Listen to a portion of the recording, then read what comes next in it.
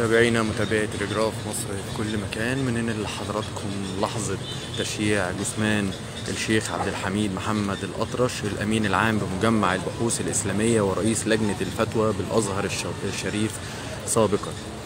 يعني هنا من آه، مسقط رأسه في آه، قرية بني هلال آه، التابعة لمركز دمنهور في محافظة البحيرة. زي ما حضراتكم شايفين توافد الآلاف من المحافظة ومن خارج محافظة البحيرة لتوديع الشيخ عبد الحميد محمد الأطرش إلى مثواه الأخير آه، في مقابر آه، الأسرة في قرية بني هلال مركز دمنهور في محافظة البحيرة.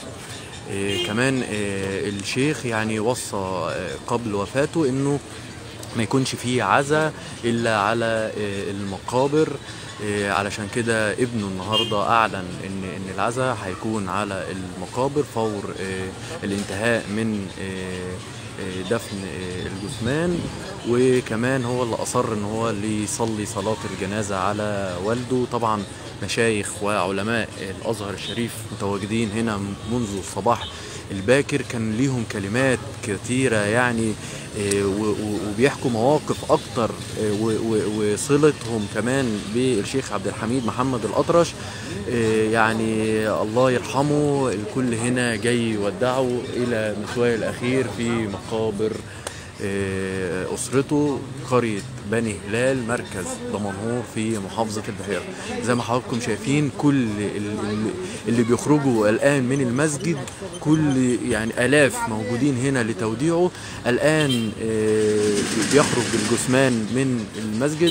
هن- هنسيب حضراتكم آه، معانا تتابعوا هذا ال- ال- المشهد ال- ال- ال- يعني مشهد كبير هنا في قرية بني هلال في محافظة البحيرة.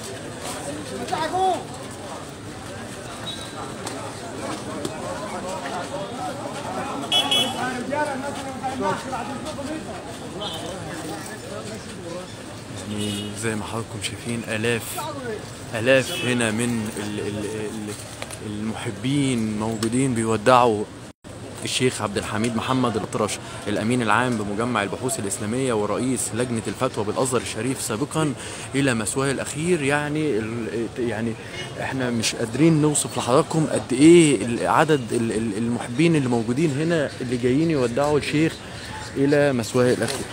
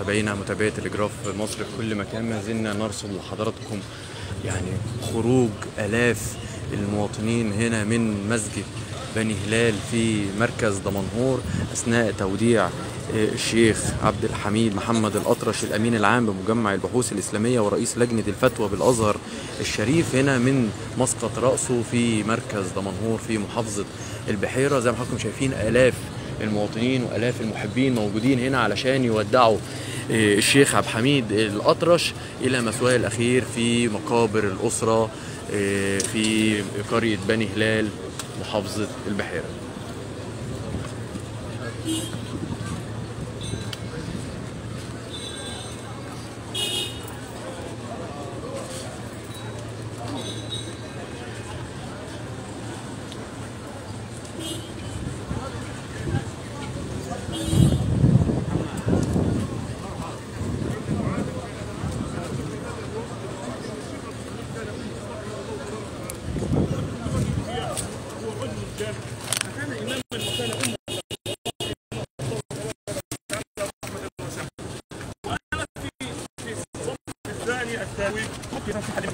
دخل قال الشعب دخل فبسرعة يعني حاولت إن اني أترك المكان. فمنعني رحمه الله تبارك وتعالى رحمة واسعة. وبعد أن صممت أخذ ما قلت وما زاد عليه إلا أن شرح بعضا مما قلت وأثنى علي الرجل فكان فكان هذا باكورا تشجيعي. لأن أسلك هذا الم- هذا المجال نحن- مولانا أنا لمست هذا في فضيلة الشيخ كان تواضع منقطع النظير نعم. فعلا الشيخ برغم علمه الغزير واطلاعه الواسع إلا أنه كان متواضع إلى أبعد الحدود الرجل كان يقدم غيره عليه دائما لذلك قدمه الله تعالى على غيره إن في ذلك لذكرى لمن كان له قلب أو ألقى السمع وهو شهيد تمام مولانا. حضرتك يعني شايف المشهد الكبير اللي موجود هنا وآلاف اللي جايين يودعوا؟ الآلاف اللي جايين يودعوا الشيخ عبد الحميد الأطرش يعني شايف المشهد ده إزاي توصفه لنا إزاي؟ والله يعني ألسنة الحق للخلق أقلام الحق. الرسول صلى الله عليه وسلم مر بجنازة فأثنوا عليها خيرا فقال وجبت ثم أثنوا مر مر بجنازة فأثنوا عليها شرا قال وجبت قيل وما وجبت يا رسول الله. قال هذا أثنيتم عليه خيرا وجبت له الجنة وهذا أثنيتم عليه شرا وجبت له النار. أنتم شهداء الله في الأرض فهؤلاء شهداء الله تبارك وتعالى.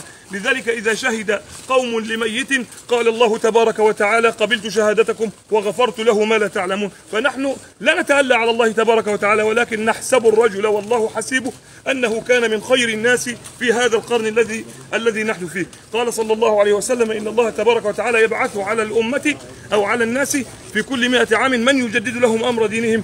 فكان نحسب هذا الرجل أنه كان من هؤلاء الذين المجددين الذين بعثهم الله تبارك وتعالى ليجددوا للناس أمر دينهم. أسأل الله تعالى أن يرحمه رحمة واسعة.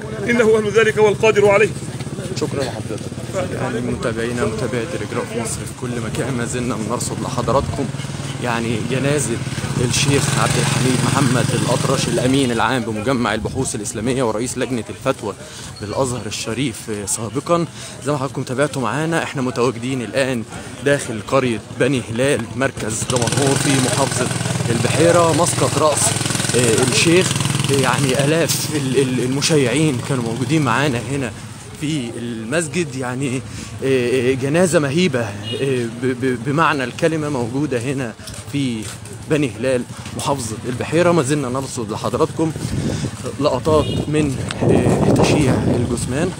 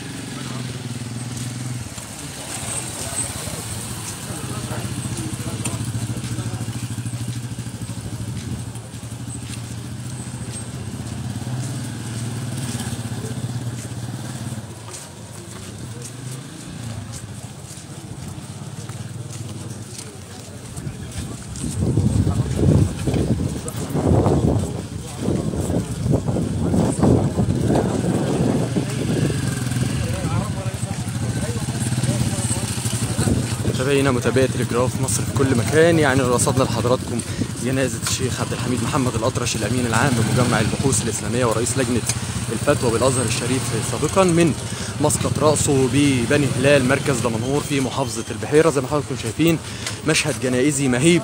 آلاف المواطنين وآلاف المحبين جايين يودعوا الشيخ عبد الحميد الأطرش إلى مسواه الأخير في مقابر العائلة هنا في بني هلال مركز دمنهور في محافظة البحيرة.